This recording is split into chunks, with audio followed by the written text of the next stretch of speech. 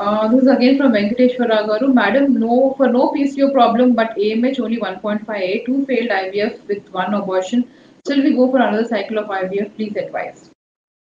Okay Venkateswara garu PCO one point five eight అంటే అది PCO కాదండి బికాస్ పీసీఓ ఉన్న వారికి ఏఎంఎస్ త్రీ కన్నా అబౌవ్గా ఉంటుంది so one point five eight అంటే it is an average రిజర్వ్లో so two failed IVF with one abortion అయిందంటే మీకు ముందు ఫస్ట్ ఎందుకు ఐవీఎఫ్ ఫెయిల్ అయిందని మనం చూసుకోవాలి first of all somebody who has a failed IVF the causes would be either వాళ్ళకి embryo quality ఏమన్నా బాగాలేదా ఎండోమెట్రల్ రిసెప్టివిటీ కానీ ఎండోమెట్రల్ లైనింగ్ కానీ ఏమైనా ప్రాబ్లం ఉందా లేకపోతే స్పర్మ్ లో డిఎన్ఏ ఫ్రాగ్మెంటేషన్ ప్రాబ్లం ఏమైనా ఉన్నది మనం అసెస్ చేసుకోవాలి so all these causes will cause IVF failure So somebody who has two IVF failures with one abortion, it can also be problem any genetical condition ఏమన్నా ఉందా embryo ఏమైనా abnormal గా ఉందని మనం స్క్రీన్ చేసుకోవాలి So ఇవన్నీ మనం రూల్ అవుట్ చేసుకున్న తర్వాత మీరు నెక్స్ట్ ఐవీఎఫ్ సైకిల్కి వెళ్ళాలి.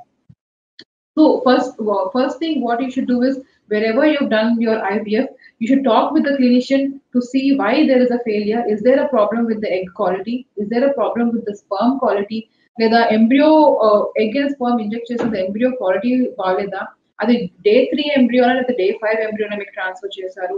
ఎండోమెట్రమ్ లైనింగ్లో ఏమైనా ఇష్యూస్ ఉన్నాయా? ఇవన్నీ మనం చూసుకోవాలి. సో ఈ అన్ని ప్రాబ్లమ్స్ ఏమైనా ఈ అన్నిట్లో ప్రాబ్లం ఉన్నా సరే ఐవీఎఫ్ ఫెయిల్ అవుతుంది అండ్ అబార్షన్ అవుతుంది and also sperm DNA fragmentation index అనేది మటుకు మీరు డెఫినెట్ గా చెక్ చేయాలి బికాస్ స్పర్మ్ కౌంట్ అంతా బాగున్నా సరే స్పర్మ్ లో డిఎన్ఏ ఫ్రాగ్మెంటేషన్ ఉండడం వల్ల ఐవీఎఫ్ ఫెయిల్ అవ్వచ్చు ఈవెన్ అబార్షన్ కూడా అవ్వచ్చు so all these factors we have to rule out before you go for next IVF cycle For more information and updates, subscribe to Oasis Fertility.